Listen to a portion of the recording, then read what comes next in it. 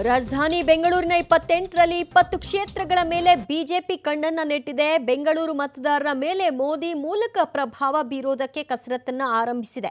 ಆದರೆ ಸಿಲಿಕಾನ್ ಸಿಟಿಯಲ್ಲಿ ಹಲವು ಕಡೆ ಆಡಳಿತ ವಿರೋಧಿ ಅಲೆ ಈಗಾಗಲೇ ಉದ್ಭವ ಆಗಿರೋದು ಸದ್ಯ ಬಿಜೆಪಿಗೆ ಸವಾಲಾಗಿದೆ. ಕಳೆದ ಮೂರು ವರ್ಷಗಳಿಂದಲೂ ಕೂಡ ನಗರದಲ್ಲಿ ಮೂಲ ಸೌಕರ್ಯ ವ್ಯವಸ್ಥೆ ಅಸ್ತವ್ಯಸ್ತವಾಗಿರೋದು ಇದಕ್ಕೆ ಬಹುಮುಖ್ಯ ಕಾರಣ.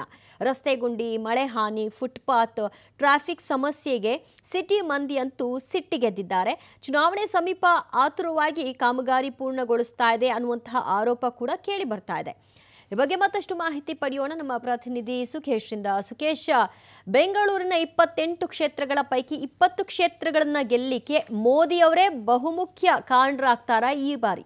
ದಿವ್ಯಜ್ಯೋತಿ ಆ ರೀತಿ ಗೆಲ್ಲಬೇಕು ಅನ್ನುವಂಥದ್ದು ಬಿ ಜೆ ಪಿಯ ಲೆಕ್ಕಾಚಾರ. ಹಾಗಾಗಿ ರಾಜಕಾರಣದಲ್ಲಿ ಎಲ್ಲ ಲೆಕ್ಕಾಚಾರವೂ ಕೂಡ ಸರಿಯಾಗುತ್ತೆ ಅಂತ ಹೇಳಲಿಕ್ಕೆ ಸಾಧ್ಯ ಇಲ್ಲ. ಆದರೆ ಒಂದು ಗುರಿ ಅನ್ನೋದಿರಬೇಕಾಗುತ್ತೆ. ಆ ಗುರಿ ಈ ಬಾರಿ ಬೆಂಗಳೂರಿನಲ್ಲಿ ಕನಿಷ್ಠ ಇಪ್ಪತ್ತು ಸ್ಥಾನವನ್ನು ಗೆಲ್ಲಬೇಕು ಅನ್ನುವಂಥದ್ದು ಬಿ ಜೆ ಪಿಯ ಲೆಕ್ಕಾಚಾರ ಅಂತ ಹೇಳಲಾಗ್ತಾ ಇದೆ.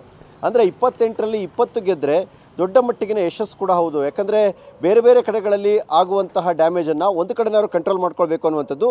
ಮತ್ತು ಈ ರೀತಿಯ ಮಹಾನಗರಗಳಲ್ಲಿ ನಡೆಯುವಂಥ ಚುನಾವಣೆಗಳಲ್ಲಿ ಮೋದಿಯ ಪ್ರಭಾವ ಜಾಸ್ತಿ ಇರುತ್ತೆ ಅನ್ನುವಂಥದ್ದು. ಯಾಕಂದರೆ ಪ್ರಧಾನಿಯವರಿಗಿರುವಂಥ ಇಮೇಜನ್ನು ಬಳಸಿಕೊಂಡು ಬೆಂಗಳೂರಲ್ಲಿ ಹೆಚ್ಚು ಸ್ಥಾನ ಗೆಲ್ಲಲಿಕ್ಕೆ ಅವಕಾಶ ಆಗಬಹುದು ಅನ್ನುವಂಥದ್ದು ಬಿ ಜೆ ಪಿಯ ಲೆಕ್ಕಾಚಾರ ಅನ್ನುವ ಮಾತು ಕೂಡ ಕೇಳಿಬರ್ತದೆ ಹಾಗಾಗಿ ಪ್ರಧಾನಿಯವರ ಇಮೇಜನ್ನು ಬಳಸ್ಕೊಂಡು ಏನಾದರೂ ಬೇರೆ ಕಡೆಗಿಂತ ಹೆಚ್ಚಾಗಿ ಬೆಂಗಳೂರಲ್ಲಿ ಹೆಚ್ಚು ಸ್ಥಾನಗಳು ಗೆದ್ದರೆ ಅದು ದೊಡ್ಡ ಮಟ್ಟದ ಬೂಸ್ಟನ್ನು ಬಿ ಜೆ ಪಿಗೆ ಕೊಡುತ್ತೆ.